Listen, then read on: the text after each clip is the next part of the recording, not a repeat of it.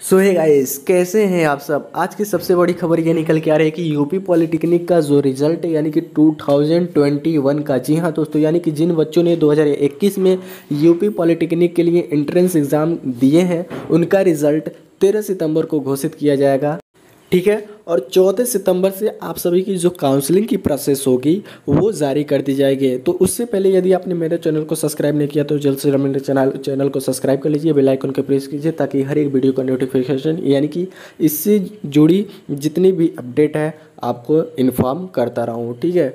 तो आइए हम इसके ऑफिशियल वेबसाइट को देखते हैं और उस पर क्या दिया गया है, उसकी प्रोसेस क्या है, कैसे होगी और किन बच्चों की गवर्नमेंट कॉलेज मिल सकता है। तो अब देखते हैं ऑफिशियल वेबसाइट पे क्या दिया गया है। यहाँ पे लिखा है विशेष सूचना। यहाँ की जो विशेष सूचना जो ऊपर की अंडरलाइन जो है, उसमें बस यही बताया गया कि जो हम लोग की परीक्षा जो शुरू हुई थी, इकतीस से शुरू हुई थी और चार सितंबर को ख़त्म हो गया था। उसके बाद बीच वाली लाइन हम लोग पढ़ते हैं।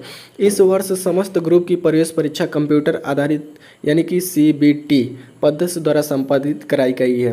प्रवेश परीक्षा का परिणाम दिनांक तेरह नौ दो को घोषित किया जाएगा। जी हाँ दोस्तों, मैंने पहले ही बता दिया है कि जो यूपी पॉलिटेक्निक इंट्रेंस एग्ज़ाम 2021 का रिज़ल्ट है, तेरह नौ को डिक्लेयर किया जाएगा।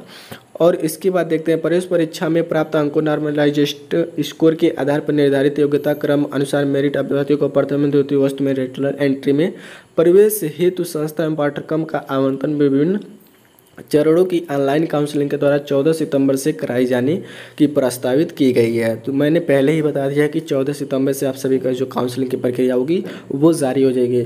और अंत में मैं ये भी बताते चलूँगा कि आप सभी को गवर्नमेंट कॉलेज आसानी से मिल सकता है। यानी कि जिन बच्चों ने थोड़ा सा कम मार्क्स गेन किए हैं, उनको भी गवर्नमेंट कॉलेज मिल सकता है।